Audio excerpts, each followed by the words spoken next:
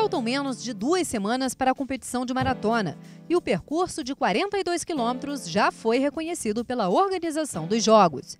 O percurso tem 42.195 metros exatos. Foram medidos pelo Fernando Azeredo, medidor oficial da Federação Internacional de Atletismo, e por mim, e certificado pelo Rodolfo Eichler, que é o único medidor categoria B do Brasil.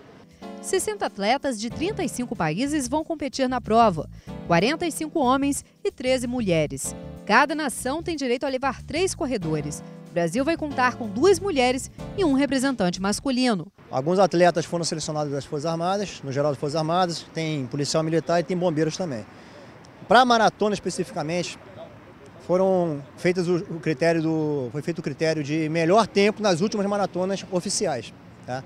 Então, alguns obtiveram esse tempo em maratonas no Brasil e outros fora. Então, por exemplo, temos a Gisele, temos a Denise, as, maratonas femininas conseguiram índice fora do Brasil, tá? E tem também um soldado aqui do Exército que conseguiu o nosso índice aqui dentro.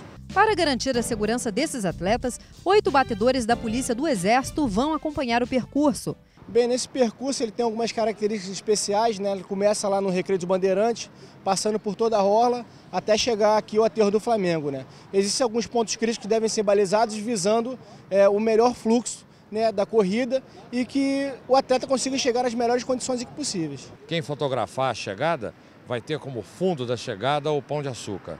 Eu acho que é o percurso mais bonito do mundo, na cidade mais bonita do mundo, na maratona mais charmosa do mundo e garanto que vai ter sido a melhor maratona dos Jogos Mundiais Militares da história.